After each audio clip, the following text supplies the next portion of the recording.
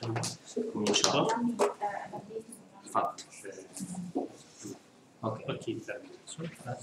Sì, primo penso. Non tanto stare la scaletta. Voi, Ah, poi poi. Cominciamo. vai. Cominciamo. Che siamo emozionati, la prima volta non siamo. Siamo ancora qui due o tre serate per le attività che abbiamo in corso e eh, in caso in effetti molto particolare per poter presentare un libro. Siamo un consorzio di aziende che non ha per mestiere quello di pubblicare però eh, pensiamo che in effetti eh, quest'area particolare del marketing eh, del cibo ha una appeal particolare. E eh, perché ha una appeal particolare? Io vi racconto un po' un, un episodio che è ancora storia estremamente recente. È stato qualche mese fa in Brasile e ho, eh, sono andato a visitare il mercato del caffè. Il mercato del caffè è una specie di concistoro, che specie di concistoro con tutte queste sedie che eh, sono in, in circolo, dove qualcuno portava un sacco di caffè, un campione, e, e poi c'era ciascun compratore intorno a questa a questo anfiteatro che prendeva un campione, se lo portava nel suo retrobottega, faceva la tostatura del caffè, faceva l'assaggio e definiva qual era il prezzo del prodotto. Quindi eh, eh, questo mercato di una commodity come il caffè, è una cosa che è molto simile per quanto riguarda il frumento e altri prodotti di grande interesse, potrebbe essere il petrolio, che ha la stessa fisionomia di quello del cibo, e quindi questa eh, cosa è andata avanti praticamente per 200 anni circa, questo sistema. Sono andato l'ultima volta, non c'è tutto questo, c'è diciamo, la, la, da visitare per i turisti, ma eh, oramai c'è soltanto un tabellone che eh, sforna minuto per minuto eh, quello che è il prezzo di quel prodotto in quel momento e quello che possono essere tutti i compratori che possono arrivare e eh, definire in qualche modo la qualità del prodotto nel mercato internazionale. Per dire, in effetti con il mercato del cibo ha subito una evoluzione rapidissima nel corso di pochi decenni. Questo era il centro del mondo, se si poteva così immaginare, dove venivano definiti i destini di molte, di molte persone, quindi di chi lavorava direttamente e produceva quel, quel suo prodotto, la stessa cosa per la canna zucchero, e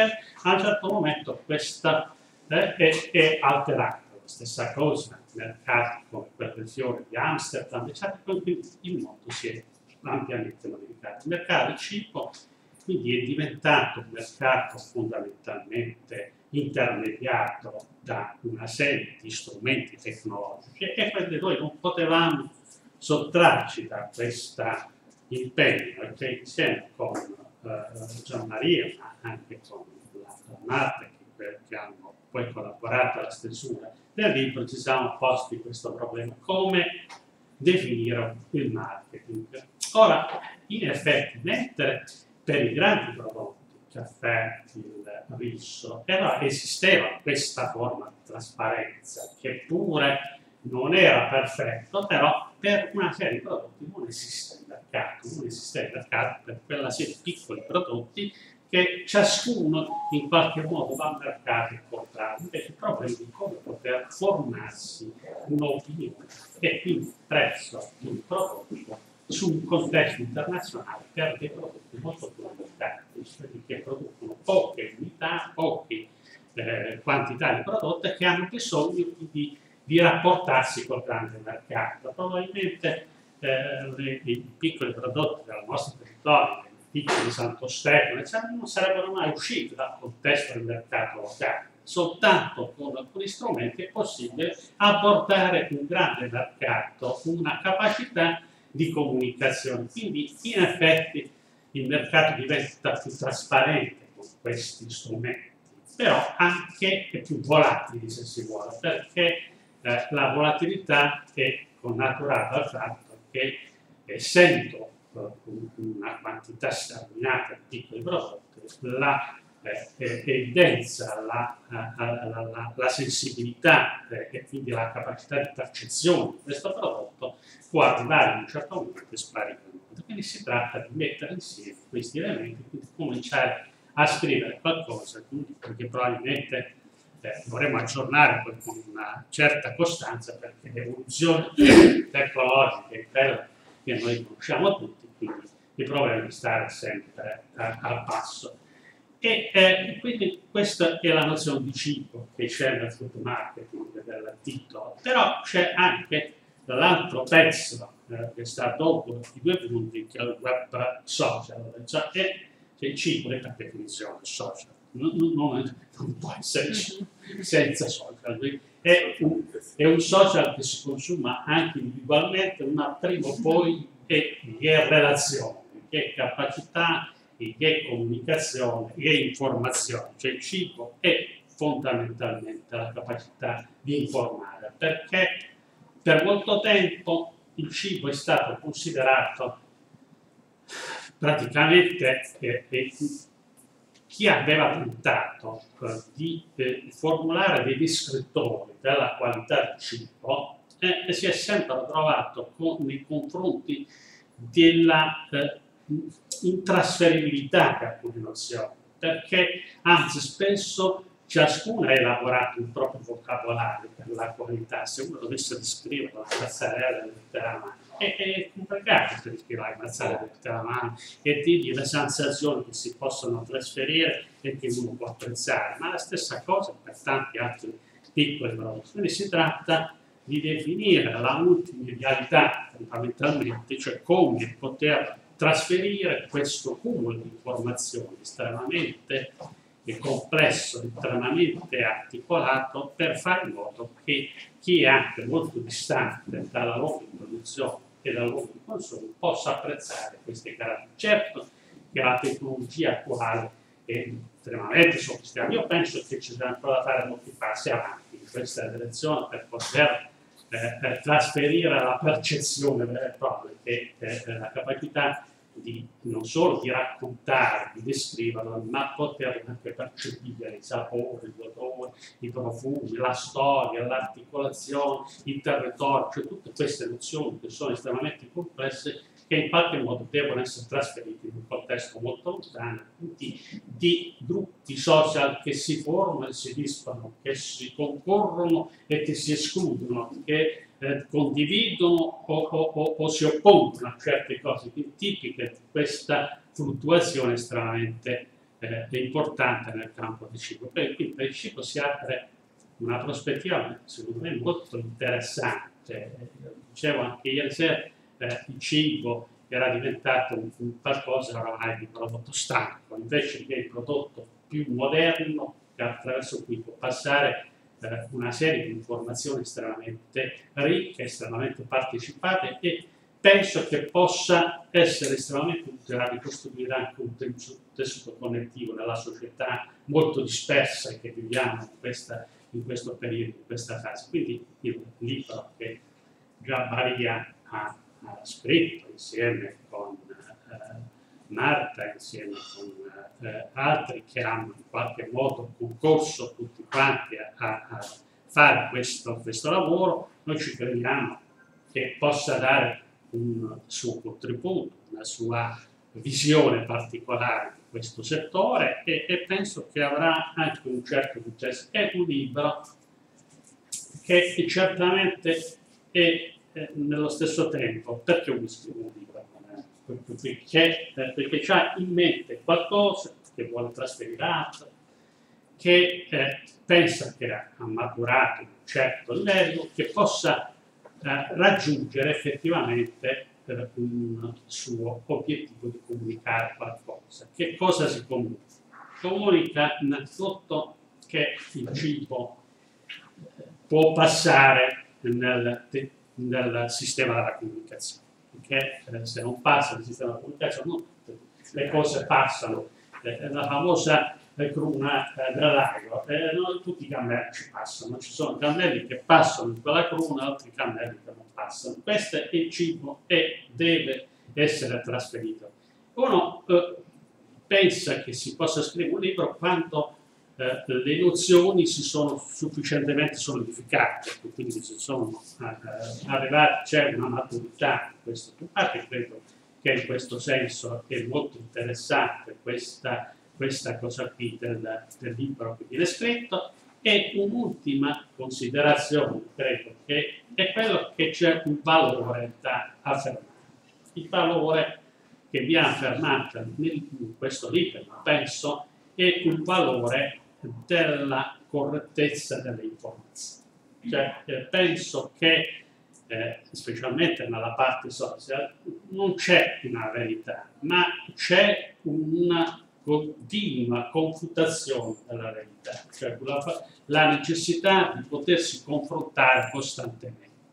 Cioè dire e fare delle affermazioni, specialmente su questi strumenti, diventa un'informazione molto fluida, molto liquida, molto, uh, che si può acchiappare, si può distruggere. Allora io penso che questo debba trovare una sua forma di controllo, di autocontrollo, cioè fare in modo che quelle informazioni che vengono date sono informazioni riscontrate, oggettive, che possono essere in qualche modo quella, eh, eh che portano alla congettura e confutazione, cioè dalla congettura si può costruire, però c'è anche la confutazione, quindi la capacità di negare, la falsificabilità, come verrebbe detto in altre circostanze. Quindi credo che questa è stata una sforzo estremamente importante, noi siamo estremamente contenti del lavoro che abbiamo prodotto e speriamo che diventi anche uno strumento di eh, lavoro.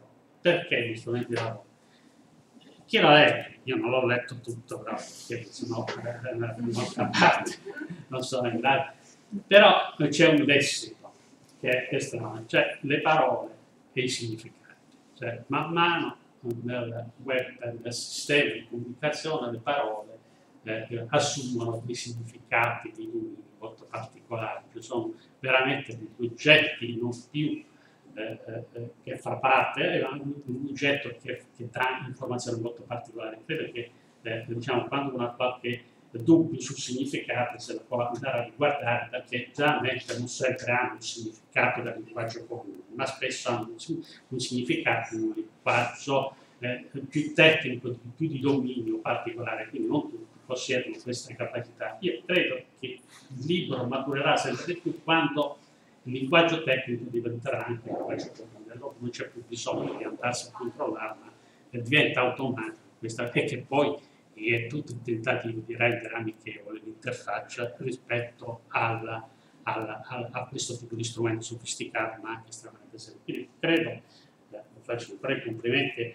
a Gian eh, che eh, preso questa fatica di scrivere e quindi eh, adesso soggiacerà anche le nostre critiche perché eh, chi si espone poi soggiace anche alle critiche quindi già, poi lui meglio di me potrà illustrare eh, il risultato della fatica del suo lavoro grazie.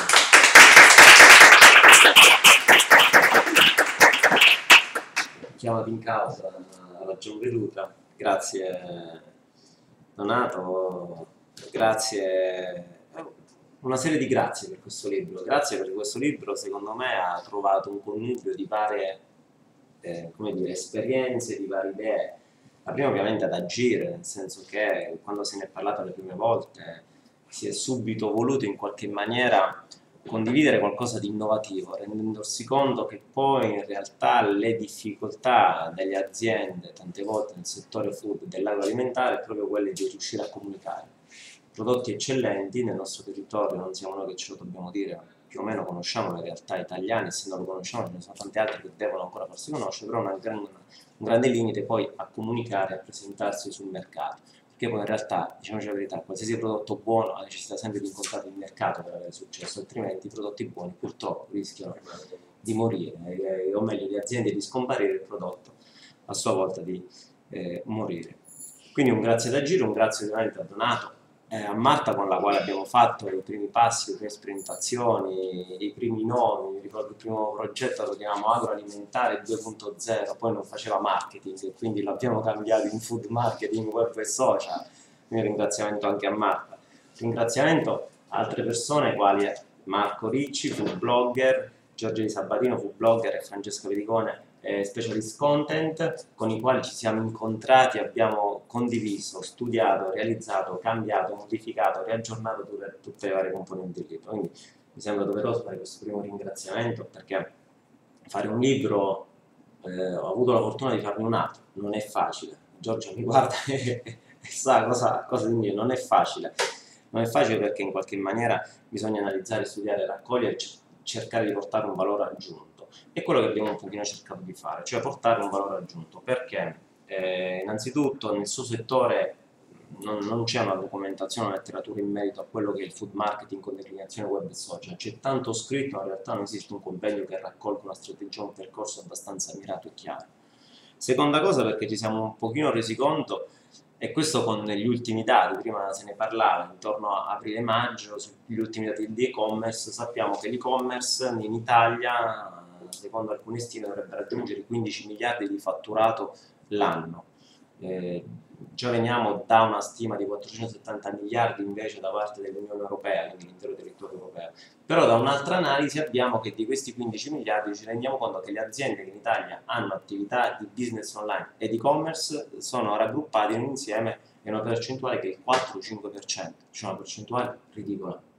Nel senso che probabilmente se molte più aziende fossero presenti nel mercato online, eh, quel 15 miliardi potrebbe crescere, ma soprattutto potrebbero crescere i fatturati delle singole aziende e quindi tutto l'indotto adesso ad essi connesso. C'è da fare anche un'altra considerazione, un pochino più di export. Eh, USA, quindi Stati Uniti e Cina, che sono, per quando sappiamo, il loro modus vivendi è quello di utilizzare quotidianamente sempre le tecnologie, sono due nazioni che tendenzialmente importano poco o nulla dall'Italia attraverso il canale di e-commerce. Quindi attenzione, importano poco o nulla dall'Italia utilizzando l'e-commerce. Allora, siccome sono USA e Cina due nazioni che adorano il prodotto italiano, che vanno dal design all'agroalimentare al lusso, tutto ciò che ci viene in mente, pensare che non utilizzano ancora il canale di e-commerce ci viene da porsi una domanda. Come mai? Non penso perché loro non vogliono utilizzare questi canali, ma forse perché le aziende italiane in questo settore hanno purtroppo delle difficoltà a presentarsi non solo in un mercato e-commerce italiano, ma in un mercato online internazionale. Perché qualche, qualche volta parlando di e-commerce una buona strategia, se ben pianificata, può essere letta appunto come la fase A di un progetto di internazionalizzazione dell'azienda, con la quale attraverso l'e-commerce oppure prodotti di business online si possono andare in qualche maniera ad annusare questi mercati. Quindi fatte queste considerazioni, e purtroppo, aggiungo io, viste tante volte i progetti di e-commerce che nascono nelle aziende e muoiono nelle aziende stesse, a volte senza partire, e anche questa è un'altra realtà, forse, e questo è lo spirito del libro, c'è necessità non tanto di, bensì, di parlare di e-commerce, ma bensì di creare una cultura del business online all'interno delle aziende, che è una cosa ben diversa una cultura del business online all'interno delle aziende significa in qualche maniera non solo utilizzare lo strumento, ma utilizzarlo nella maniera corretta altrimenti rischiamo di avere dei grandi, grandi problemi. Guardate che tante volte, parlando con degli imprenditori, potrebbero dire ma se arrivano più ordini in un sito online, che cosa succede? Io sono contentissimo, sì, ma se non li riesci ad evadere, eh, va bene, aspetteranno. No, questo sarebbe uno dei più grandi errori in un'attività di e-commerce. Non tanto perché non si evade l'ordine, ma perché la reputazione online di quell'azienda probabilmente subirà un danno o anche quando noi diciamo che si spedisce in 24-48 ore il prodotto e poi non si spedisce nelle 48 ore, ma noi ci vogliamo 4 giorni, 5 giorni, purtroppo sembra, a volte può sembrare una cosa non importante per l'imprenditore, in realtà per il cliente è una cosa importantissima, perché nell'attesa di un prodotto e quindi creata un'aspettativa di 24-48 ore, quando questa aspettativa viene in qualche maniera eh, disattesa, succede che il cliente, l'utente va online e, e, posta un commento negativo. E questo commento negativo, e questo ce l'insegna non il web, ma ce l'insegna la vita quotidiana, una notizia negativa va molto più veloce di una notizia positiva. E quindi se ci mettiamo tanto a costruire una buona reputazione aziendale, ci mettiamo pochissimo a rovinarla. Tante volte ce la roviniamo con lo strumento che in realtà ci doveva far crescere. Quindi questo è un pochino lo spirito di questo libro. Il libro che tocca I capitoli principali riguardano appunto quello che è un pochino il mercato di internet, nel il mercato e-commerce in generale, ma nel settore anche del, dell'agroalimentare.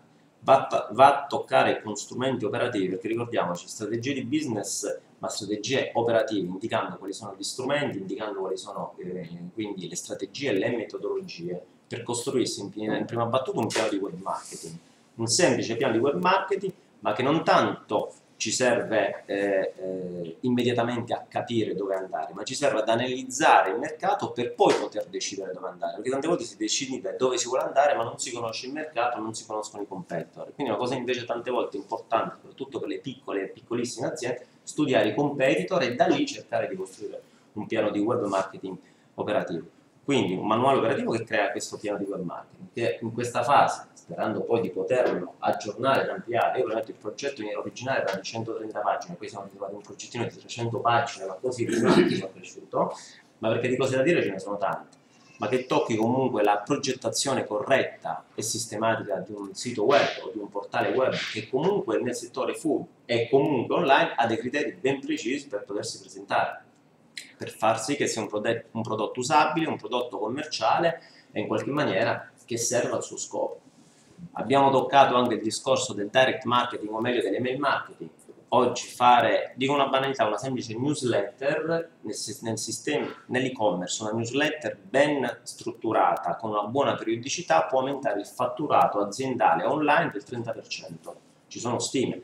Quindi immaginatevi pianificare una campagna di email quando può essere così semplice in realtà, ma soprattutto quando può dare valore aggiunto.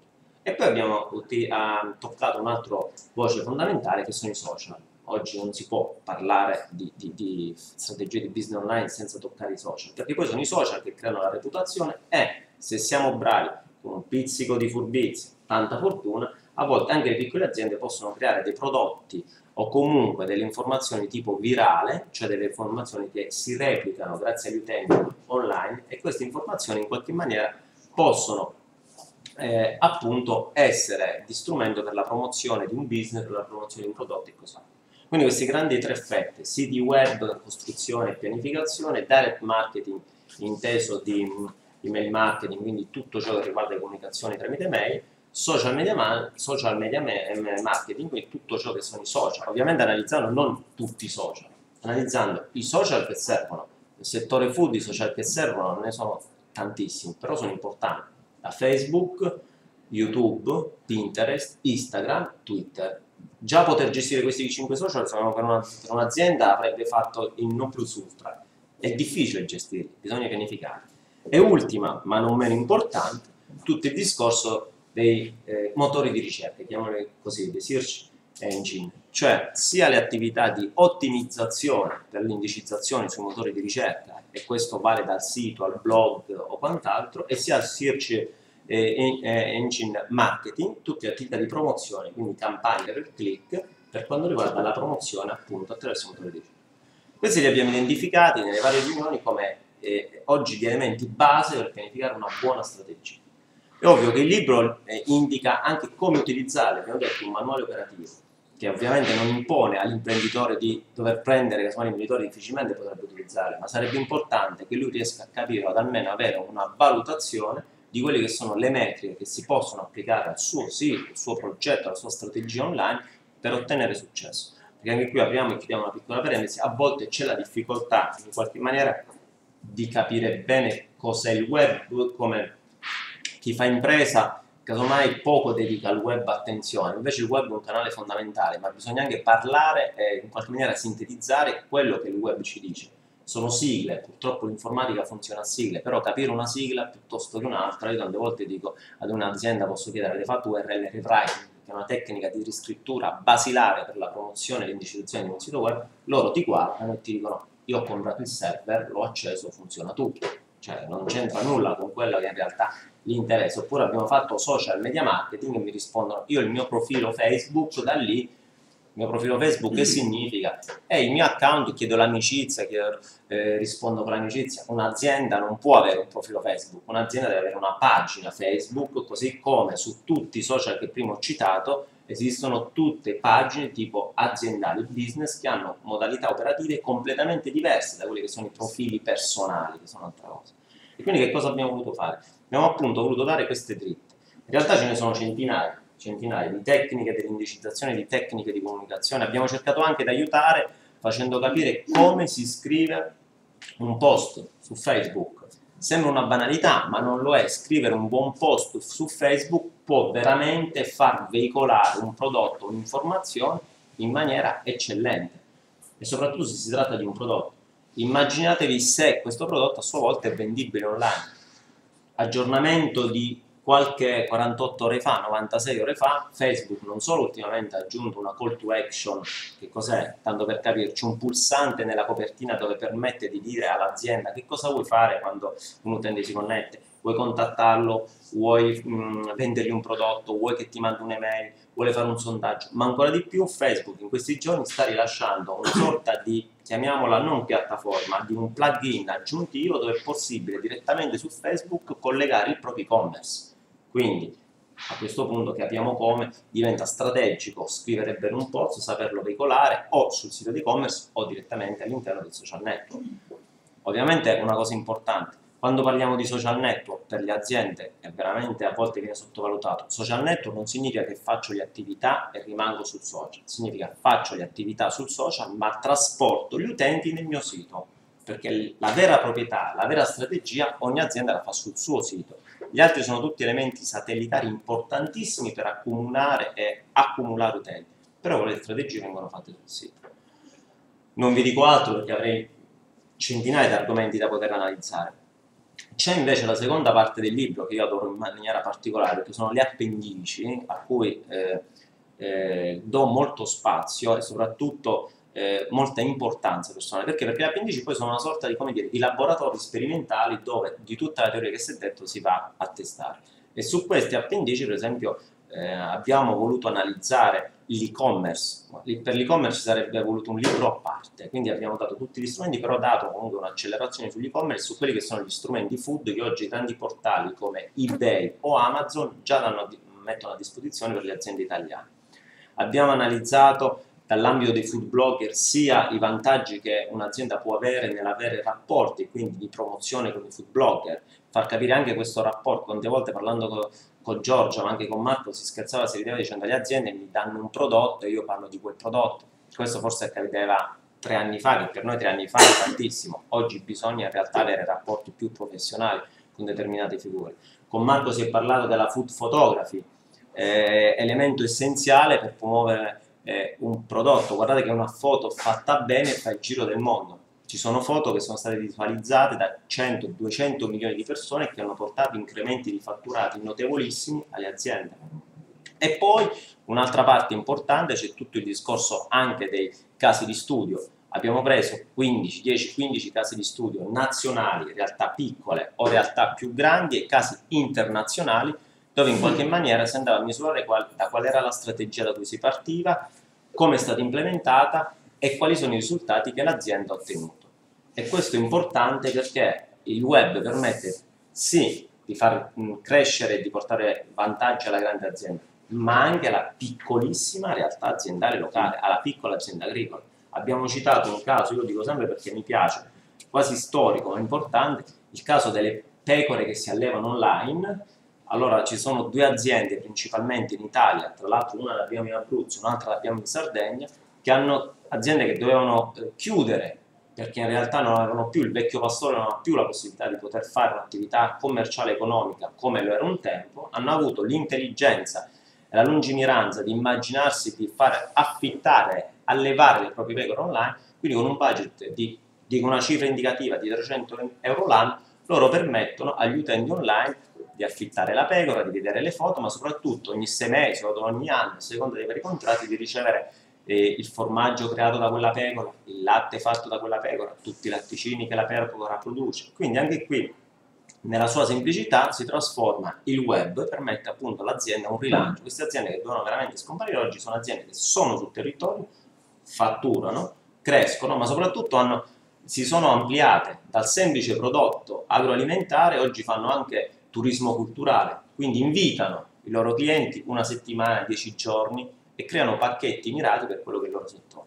E quindi con i casi aziendali, fino a parlare dei casi casomai più eclatanti come Heineken, che proprio qui a Milano qualche anno fa, nella finale che fece la Coppa dei Campioni, il Milan fece un evento social importantissimo su YouTube che pensate, l'evento social avrà avuto un investimento probabilmente forse neanche centinaia di migliaia di euro, da una cifra tanto indicativa, ma il ritorno in termini di immagine è stato mondiale, veramente mondiale, da Sky a BBC, a ABC, alla RAI, a Mediaset, cioè si sono inventati un qualcosa di molto interessante, con una buona idea, budget non troppo alti, ma un ritorno di immagine fortissimo. E quindi questi sono gli strumenti. E poi comunque abbiamo inserito, sempre perché abbiamo l'intenzione di volgerci a un pubblico non tecnico, un glossario molto ricco, importante, di quelle che sono tutte le terminologie e appunto le, le voci principali, quelle tuttissime sigle di cui si parlava prima, per capire di cosa si parla. Quindi qui in sintesi, una sintesi molto molto stretta, questo è quello che è il discorso e quindi la progettualità di questo libro. Io non dico altro perché voglio lasciare spazio, in realtà mi piacerebbe che ognuno faccia un intervento, quindi mi permetto di chiamare rapidamente poi ognuno di voi.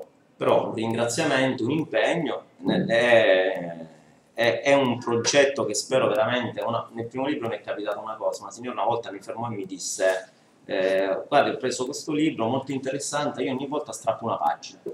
Io giustamente dissi, scusi signora, se è così interessante mi devo visitare, perché strappo una pagina? Perché siccome un libro, un manuale pratico, ogni volta che strappo una pagina significa che quell'operazione io l'ho fatta. Ecco, speriamo che questo libro allora in quest'ottica ha strappato tanto, perché non ci rimane niente, soprattutto può essere un motivo per cui possa essere utilizzato. Quindi io vi ringrazio. Eh, a questo punto chiamo Marta, mi piacerebbe possa dire due parole e poi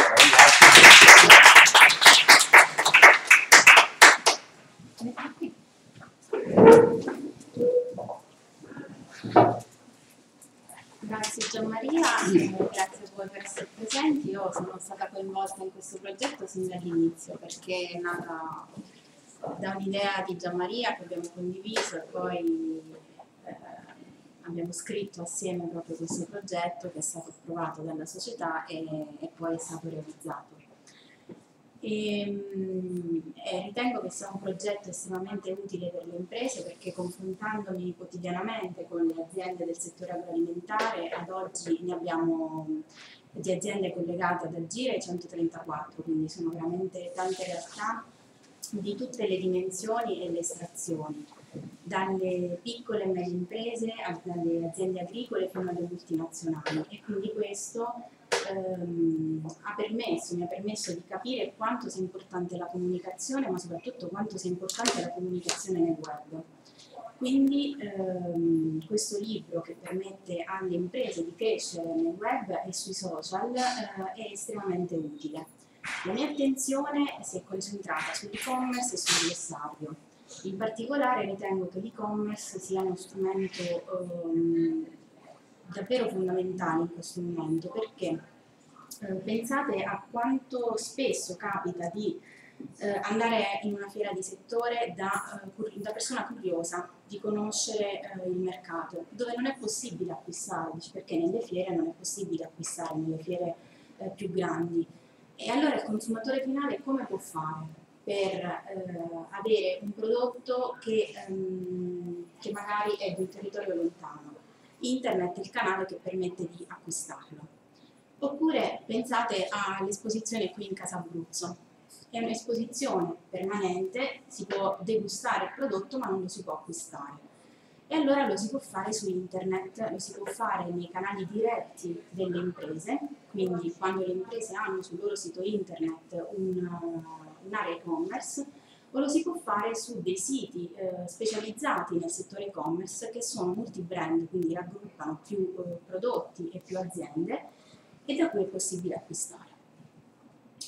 Però ci sono anche una serie di strategie che queste aziende devono seguire. Come diceva prima Gianmaria, le aziende che hanno eh, sul proprio sito un canale e-commerce devono avere una comunicazione integrata e eh, in linea con eh, il sito internet, con la parte cartacea e con eh, la grafica. Ci deve essere un progetto unitario. La stessa cosa avviene nelle aziende eh, e nei canali e-commerce multi-brand in cui ci sono più prodotti e quindi ci deve essere un'immagine coordinata, però l'azienda deve essere pronta ad affrontare nuovi mercati, quindi deve conoscere i competitor di quel mercato, ma deve conoscere soprattutto il paese in cui vuole andare a vendere, perché non tutti i paesi sono uguali e per alcuni paesi ci sono delle normative particolari da seguire. Ad esempio, se si vuole vendere in America, ad oggi i prodotti devono avere un'etichetta che eh, entro il dicembre 2016 dovrà essere uniformata alla nuova normativa 1169 del 2011 e se si vuole vendere in America invece deve essere in regola con i valori nutrizionali e con tutto quanto collegato all'FDA number, quindi alla Food and Drug Administration. E, ehm, che dire, poi la, L'altro aspetto che ritengo fondamentale legato all'e-commerce, ma anche a questi strumenti social, è che devono essere in grado di emozionare, di trasmettere la passione che l'azienda ha nel proprio comparto, nel proprio settore e per i propri prodotti. E questo è poi, secondo me, il vero strumento vincente che permette alle aziende di poter vendere di più, di fare fatturato e quindi di crescere. Mi auguro che questo libro, seppur tecnico, sia in grado di, di emozionarvi e di riuscire a che sia capace di trasmettere eh, poi degli strumenti realmente utili e spendibili eh, nella, nella realtà. Con questo io passo la parola agli altri autori del, del libro e vi ringrazio per la vostra presenza.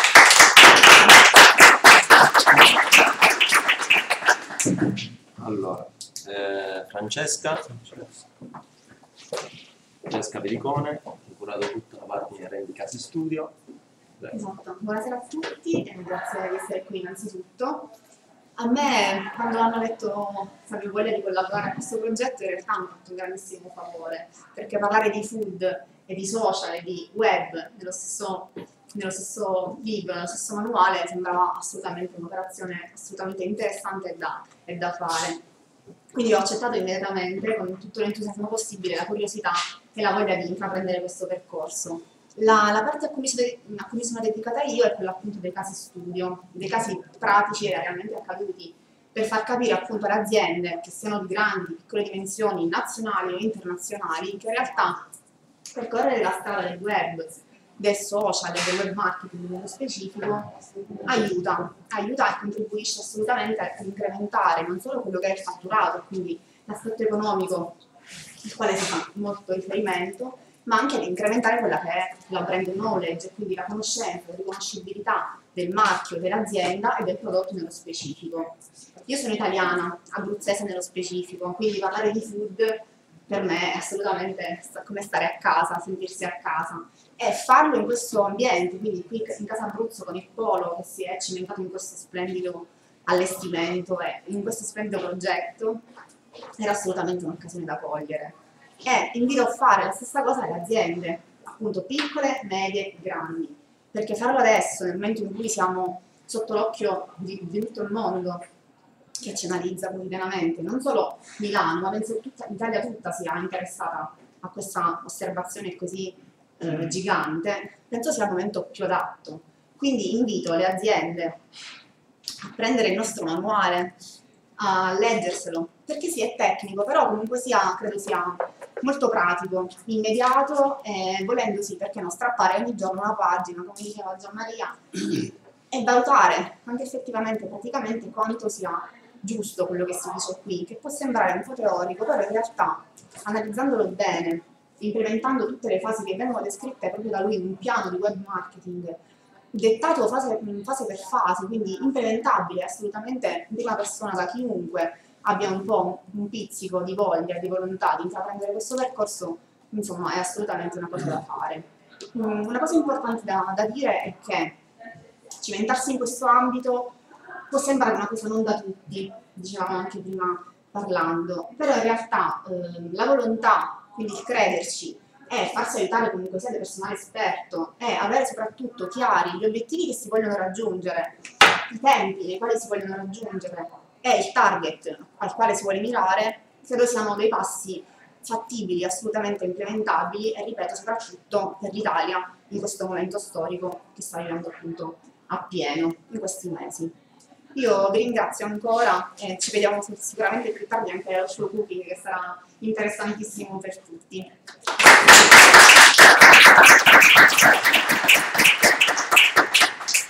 A questo punto chiamo Giorgia, food blogger, autrice del libro Semplicemente Buono. Buonasera a tutti. Innanzitutto vi ringrazio per avermi invitata, sono onorata di aver partecipato, di aver preso parte a questo progetto che mi è capitato un po' per caso perché ci siamo incontrati al supermercato. E mi dice Maria Però, eh, hai comprato il mio libro? Lui mi ha detto ma tu il mio ce l'hai? Io ho detto no. E quindi da lì è nata una, una polemica.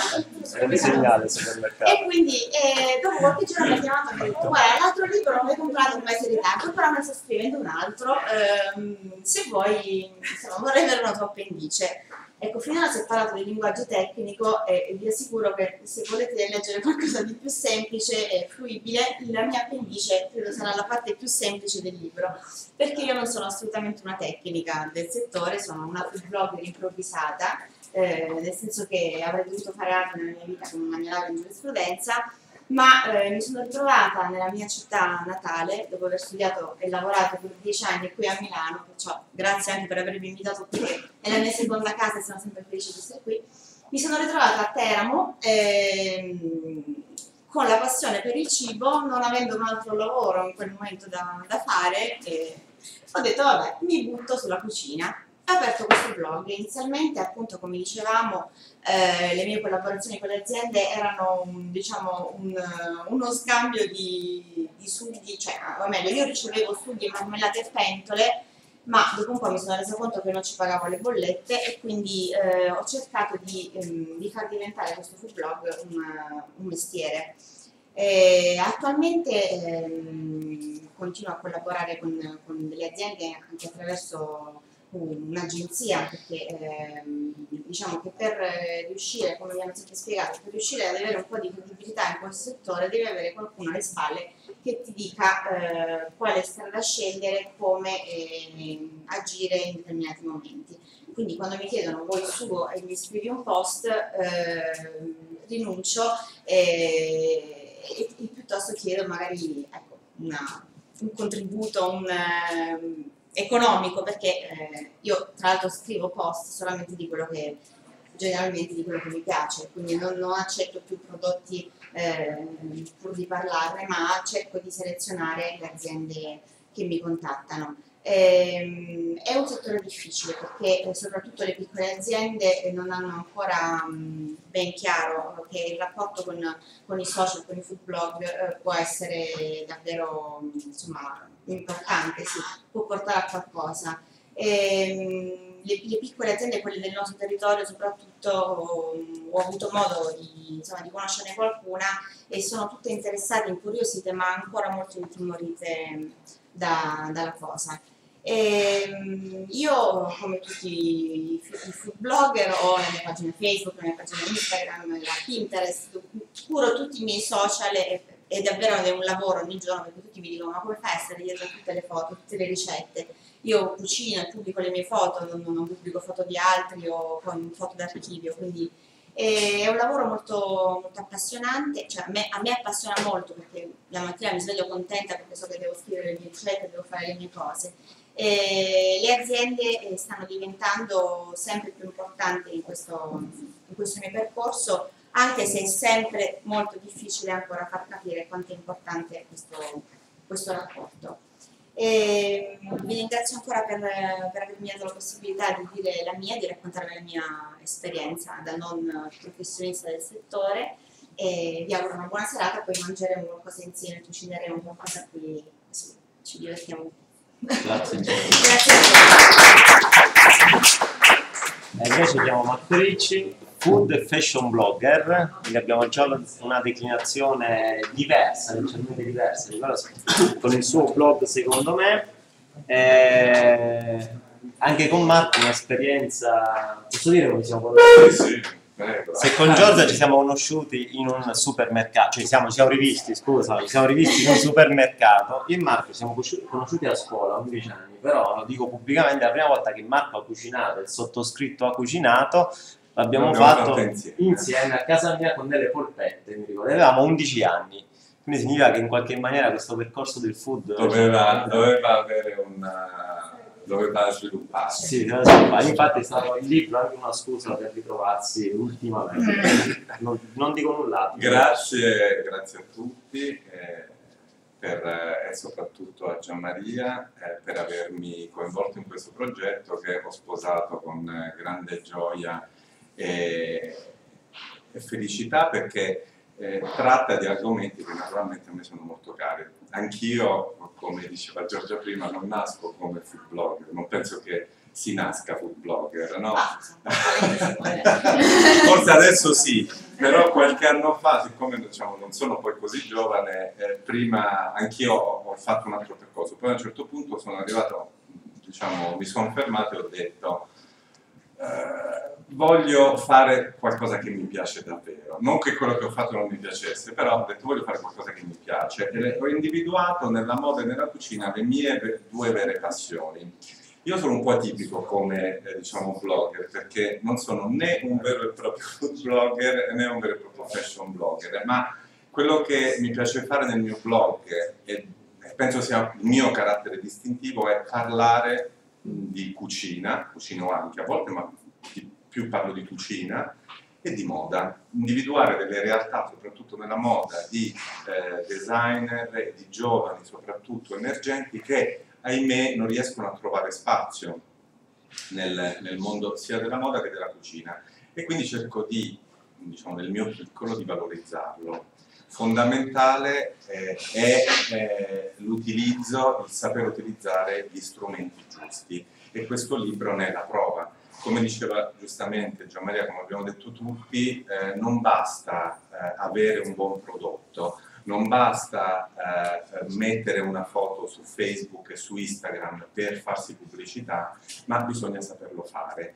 E nell'appendice che ho avuto il piacere di scrivere eh, per questo libro parlo proprio di quanto sia importante oggi una fotografia.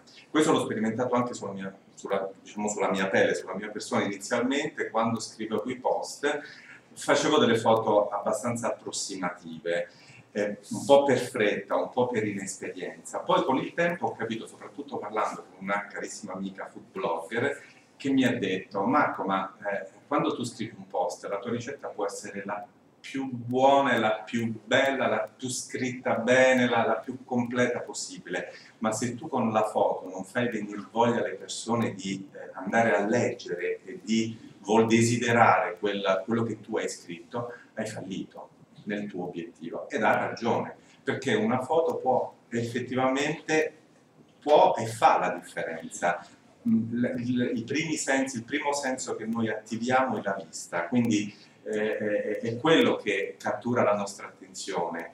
Eh, vedere una bella foto cattura la nostra attenzione e se la foto è fatta bene, quindi ha una, una messa a fuoco, una, una, texture, un set adeguato, ci permette poi, ci incuriosisce e, e innesca tutta un'altra serie di, di, sensi, come la, la, la, praticamente il, il, gusto, cioè ci, ci, ci spinge a voler andare a capire e a leggere come è fatta quella determinata ricetta. Quindi eh, eh, insieme al food marketing quindi è nata un'altra diciamo, un'altra branca che si chiama food photography, importantissima, dove si studia eh, in maniera accurata eh, su come eh, scattare le foto al food.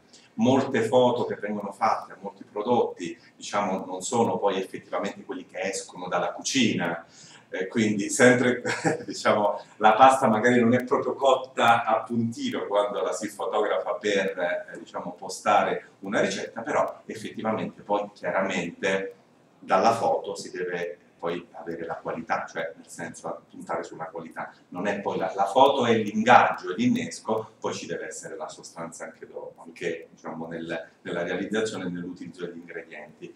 Quello che dico poi è a parità di piattaforma tecnologica, quindi di, di, strumenti, di strumenti che si utilizzano, a fare la differenza proprio è come viene presentato il prodotto. E se alla foto, diciamo, fo del prodotto che si vuole commercializzare si unisce poi una ricetta o comunque si fa vedere un'applicazione di quel prodotto, il bacino mh, diciamo, aumenta, le, le persone coinvolte eh, eh, possono e sicuramente aumentano. L'applicazione del prodotto fa, fa la differenza sempre più concludo poi facendo, diciamo, unendo anche quello che è il mio, il mio blog che, dove parlo di moda, sempre più, diciamo, più forte il connubio tra moda e cucina. Moltissimi designer, da quelli più famosi a quelli meno famosi, eh, eh, sono affascinati dal, dal, dal cibo, dal food e lo utilizzano come, non solo come eh, fonte di ispirazione, come ha fatto Gattinoni eh, nella, eh, nella, nella, nella, scorsa edizione Autunno di Alta Roma, che ha allestito letteralmente, imbandito del, del ristorante di Antonello Colonna, l'Open Colonna, uno spazio bellissimo, non so se lo conoscete, a Roma, facendo sfilare le proprie creazioni ispirandosi a dei piatti realizzati dallo chef eh, Colonna. Ma questa è diciamo, la parte più di ispirazione. Molti invece designer utilizzano il, eh, eh il food eh, per trattare i propri capi e questo spazio ne è stata la prova qualche settimana fa perché eh, ha visto proprio diciamo, esporre delle aziende abruzzesi che utilizzano gli scarti delle olive, della produzione dell'olio quando si fa l'olio o del vino per lavare i propri jeans e quindi produrre, diciamo, presentare un prodotto nuovo. Quindi oltre al fatto che poi la cucina e la moda partono da processo creativo molto simile nella scelta degli ingredienti, il, il food, nella scelta del, del, eh, dei tessuti, la moda e poi il processo creativo è sempre lo stesso, l'ispirazione, il saper mettere insieme eh, gli ingredienti, combinarli in un modo ben preciso e non a casaccio, insomma. Quindi ci sono molti punti di contatto tra moda e cucina, sia da un punto di vista creativo che poi da un punto di vista di utilizzo delle, delle, delle risorse che si hanno. Questo è il mio contributo, sono molto felice, spero che insomma, apprezziate anche voi, sicuramente.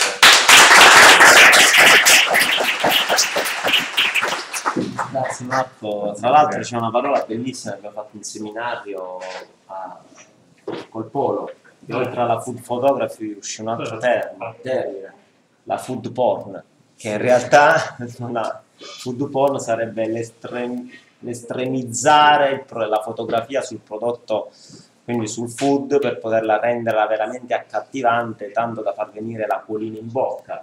Quindi questa è una sorta di stilizzazione che però questo nome fa giro perché insomma accoglie... Beh, è un hashtag molto, molto utilizzato, allora, fino a qualche tempo fa era molto, era, ne, ne, ne strabusavano. Eh, adesso un po' meno, vedo utilizzato un po' meno.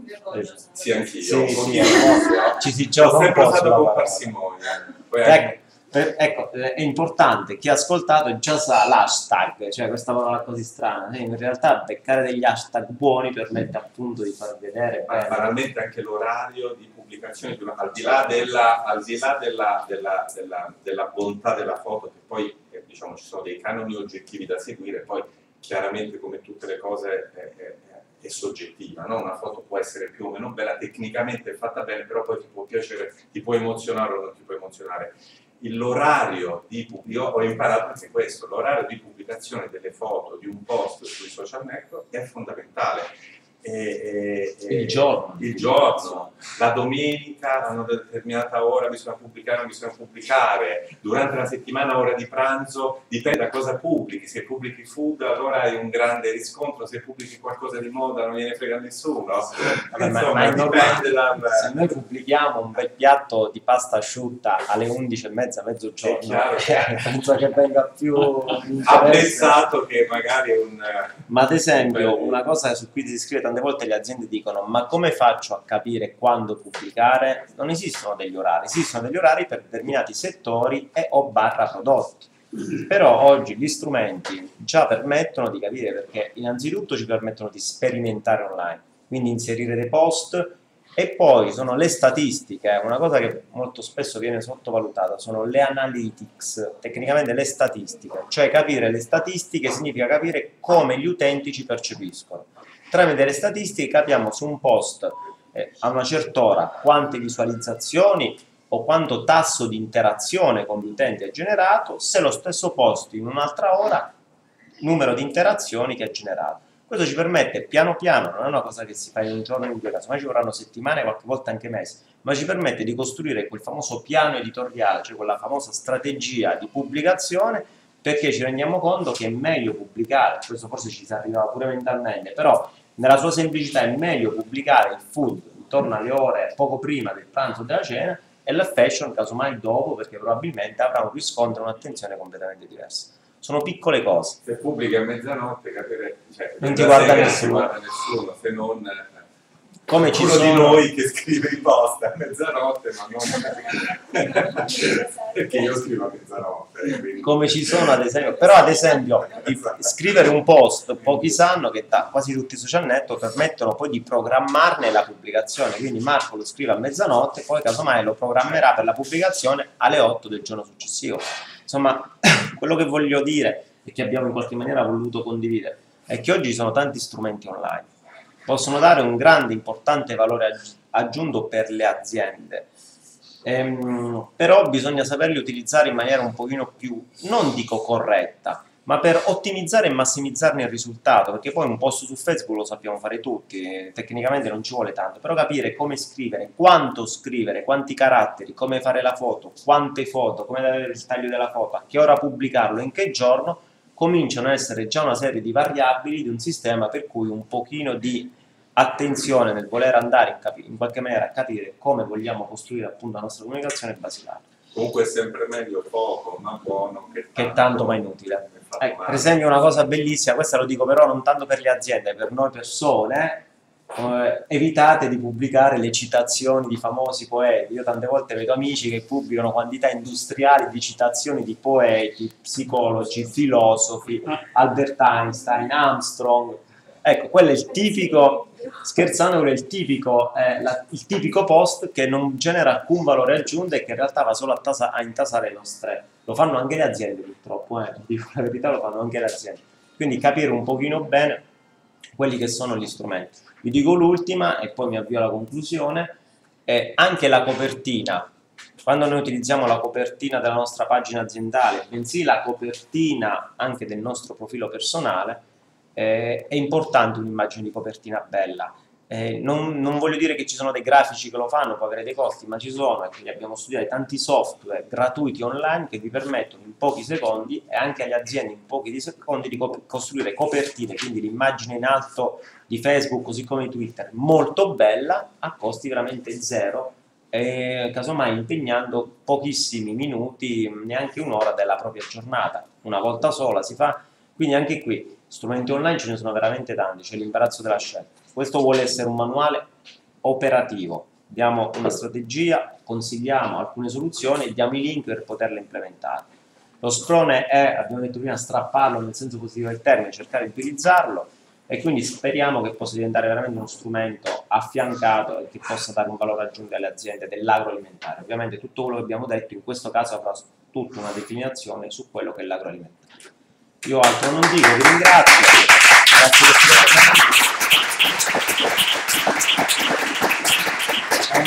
e vi invito ovviamente a prendere una copia del libro e sotto tra qualche minuto sarà pronto a un cooking show fatto dai nostri food blogger. Io neanche ci provo. Io mi sono fermato alla polpetta di di quando avevo sono di supporto se- faccio il garzone. Faccio il garzone. ah e ovviamente la ricetta che sarà fatta è citata è presa dal libro di Giorgia semplicemente buono che potete anche trovarlo sotto in consultazione. Grazie a tutti e buonasera